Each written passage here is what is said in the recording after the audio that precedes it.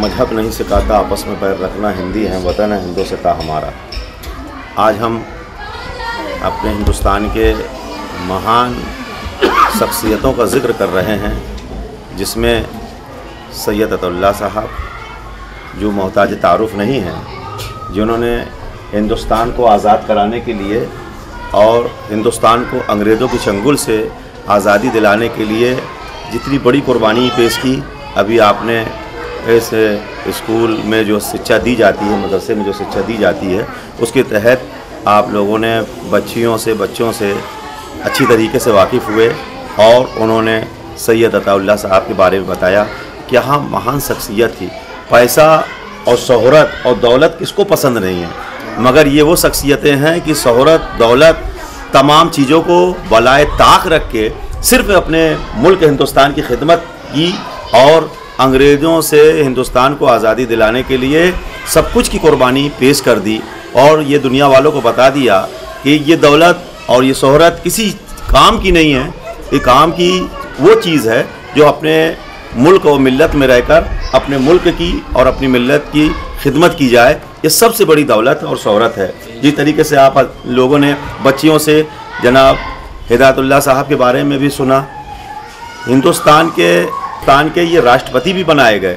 और राष्ट्रपति बनने के बावजूद भी इन्होंने अपने आप को फ़ख्र महसूस नहीं किया, बल्कि हिंदुस्तान का एक खादिम अपने आप को महसूस करते थे कि हम हिंदुस्तान के खिदमत गुजार हैं, हम खादिम हैं। और खादिम की हैसियत से ही जनाब हिदायतुल्ला साहब ने हिंदुस्तान की खिदमत की। भगत सिंह साहब ने जो कुर्बानी हिंदुस्तान के लिए दी और ये कहते हुए कि सर फरोसी की तमन्ना अब मेरे दिल में है।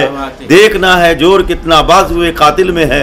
ये देखते हुए फांसी के फंदे को चूमने वाली जो शख्सियत है कि अंग्रेज़ों ने फांसी को फंदा दिखा दिया कि अगर तुम हमसे लड़ना नहीं छोड़ोगे तो हम तुम्हें फांसी दे देंगे। लेकिन शहीद भगत सिंह साहब ने फांसी फांसी के बंदों को जाकर चूमा और चूमने के बाद कहा देश की आज़ादी के लिए एक दफ़े नहीं हमको सौ दफ़े भी फांसी दोगे तो हमें मंजूर है। लेकिन हम हिंदुस्तान को अंग्रेज़ों के चंगुल से आज़ादी दिला कर रहेंगे।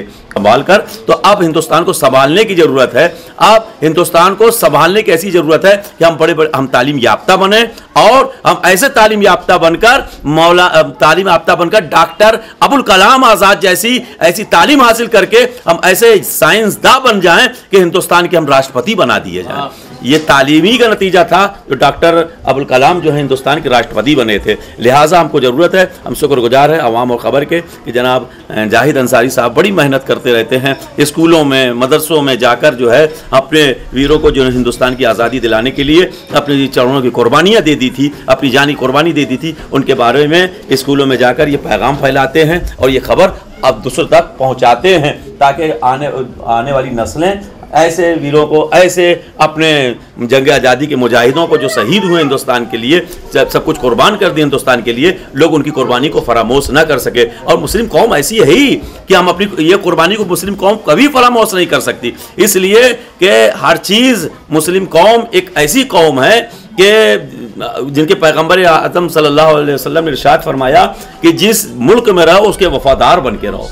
यानी जिस मुल्क में रहो उसके वफादार बन के रहो और उससे प्यार करो मोहब्बत करो। सरकार ने फरमाया निसफुल ईमान हुब्बुल वतनी निसफुल ईमान यानी अपने वतन से मोहब्बत करना आधा ईमान है। तो पैगंबर इस्लाम सल्लल्लाहु अलैहि वसल्लम की तालीमात पर कर, अमल करते हुए हिंदू मुसलमान वो कौम है जो अपने मुसलम अपने वतन से भी मोहब्बत करती है अपने वतन में रहने वालों से भी मोहब्बत करती है। पैगंबर इस्लाम वसल्लम फरमाया पड़ोसी पड़ोसी का ख्याल करे। और ये कौम वो कौम है कि पड़ोसी का भी ख्याल करती है अपने बड़ों का भी इज़्ज़त करती है। और जिन लोगों ने इस कुर्बानी दिया, उनकी भी कुर्बानी को ये कौम परामोश नहीं करती है। इसलिए कि जब तक सूरज चाँद आसमान पे रहेंगे, गंगा, जमुना में पानी की एक कतरा रहेगी, हम उनको याद करते रहेंगे, उनकी कुर्बानी को फरामोश नहीं करेंगे, जिन्होंने हिंदुस्तान को आज़ादी दिलाने के लिए सब कुछ कुर्बान कर दिया। हम उनको सलाम करते हैं और हम आवाम और ख़बर के शुक्रगुजार हैं कि अच्छा प्रोग्राम करके अच्छा मैसेज आवाम के सामने पेश किया है।